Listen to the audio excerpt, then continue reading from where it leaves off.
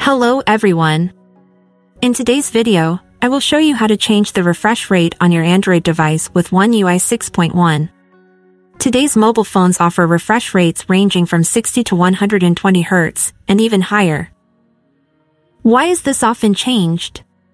The most common reason to lower the refresh rate is to save battery life, as a higher refresh rate consumes more power. On the other hand, it is increased because everyday usage is smoother with a higher refresh rate, making many activities flow more smoothly. So, let's get started with the process.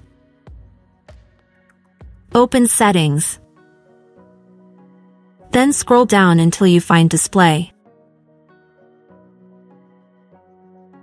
The refresh rate setting is within the motion smoothness option. Open this option.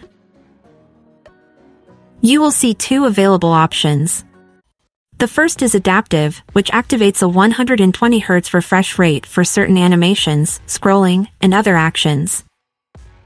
The second is the standard option, which saves battery by setting the refresh rate to 60 Hz.